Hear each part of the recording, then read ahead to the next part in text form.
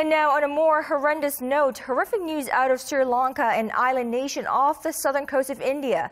There are at least 220 people who've been killed and 450 more injured after eight coordinated bombings across the country on Easter Sunday. The explosions occurred at churches as worshippers attended Easter Mass. There were also bombings at three hotels popular with foreign tourists.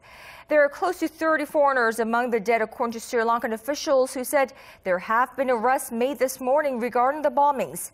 South Korean President Moon Jae-in responded to the attacks on social media, offering his condolences. I want to go now to Hong Yoo, who joins me from Arirang News Center with more. Yoo, what's the latest? Well, Connyoung, we now know at least 228 people have been confirmed dead and several hundreds are injured. This was an attack on eight locations, including churches and hotels in a number of different cities. Around 32 foreign nationals are among the dead, including several Americans and five British nationals. The death toll is expected to rise. It's unclear who is behind the attacks, but around a dozen people, all Sri Lankans, have been arrested in connection with the coordinated bombings.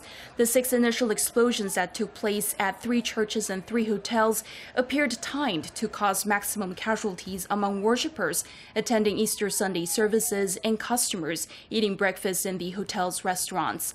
The Sri Lankan government has declared a curfew in Colombo, the nation's capital where most of the bombings took place, and blocked access to social media and messaging sites such as Facebook and WhatsApp.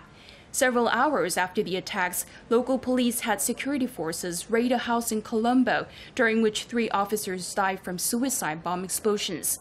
Sunday's violence punctures a decade of relative peace in the country following the end of its civil war in 2009.